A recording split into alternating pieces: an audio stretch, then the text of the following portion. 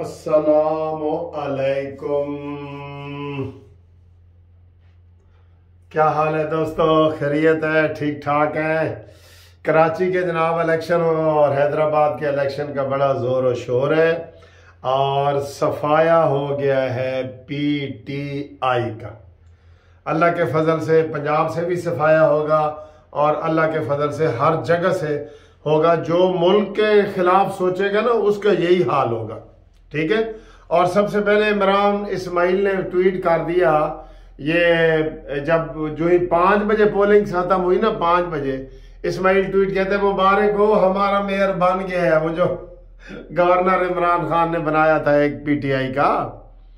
अच्छा जी, अब सूरत हाल ये है कि जनाब अली वहाँ पे एमक्यूएम ने बाईकाट किया। आपको पता ही है एमक्यूएम ने बाईकाट किया।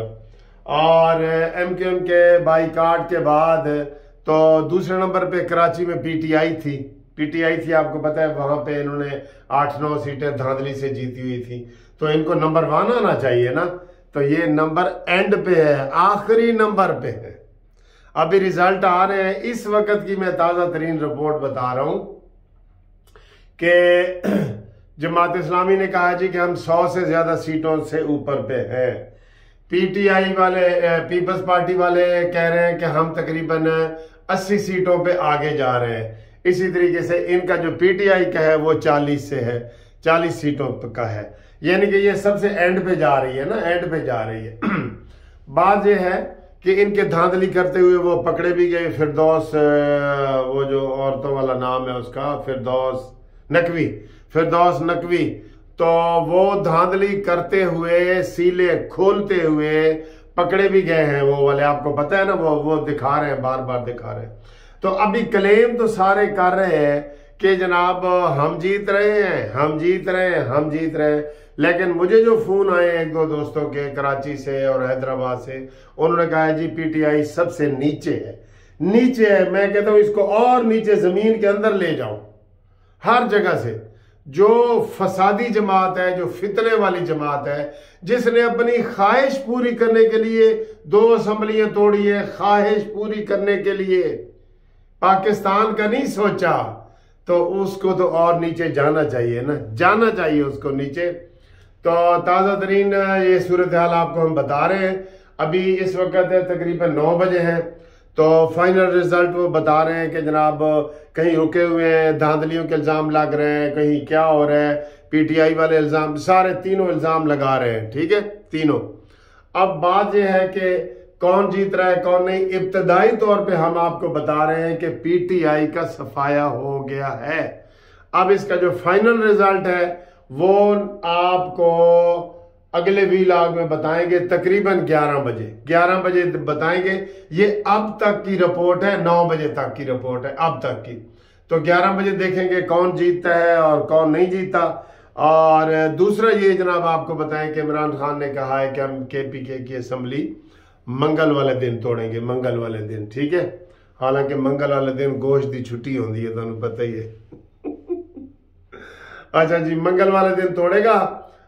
पहले एक लत्त ਉਹਦੀ ਟੁੱਟੀ ਹੈ ਪੰਜਾਬ ਵਾਲੀ ਹੁਣ दूसरी भी टूटेगी और यही हाल होता फिजिकली भी होना है सियासी तौर पे कह रहा हूं कोई मेरे से पर्चा ना करा देना कोई एक एक टांग टूटी है ना उसकी दूसरी भी टूटेगी एक पंजाब असेंबली की टांग है वो टूट गई है और दूसरी केपी की, की है वो टूटने वाली है मंगल वाले दिन टूटने वाली है ठीक है और काफ लीग को तो लग पता क्या है जब इमरान ने असेंबली तोड़ते ही कह दिया है कि जनाब काफ लीग वालों ये तो था ना खबरें, आ रही थी अंदर की खबरें कि जनाब इन्होंने तीस सीटें टोटल जी, बीस एमपीए की और दस सीटें एमएनए की परवेज लाई ने इमरान खान से मनवाया था।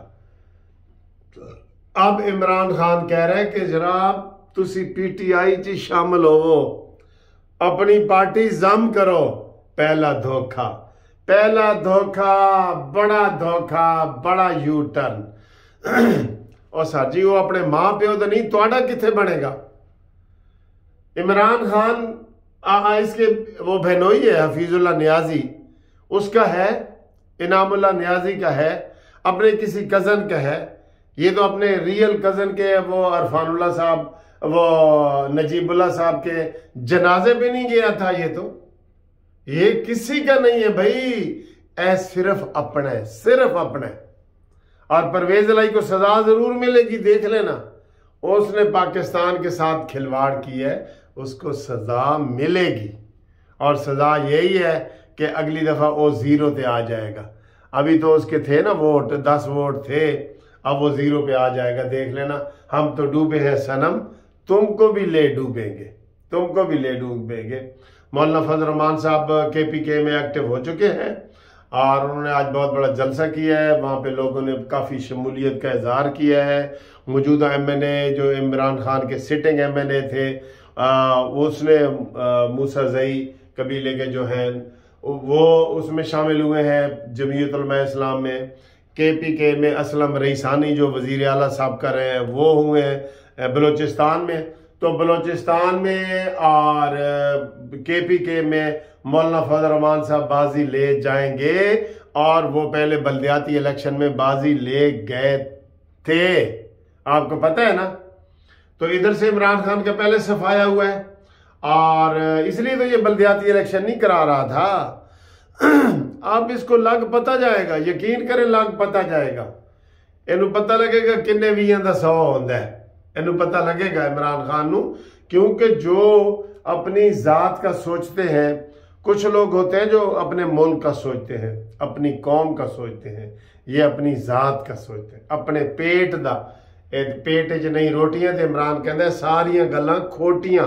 अपने पेट का ही सोचने वाला सिर्फ़ पहला लीडर है इमरान खान, अपने पेट का, ये अपने पेट का सोचता है।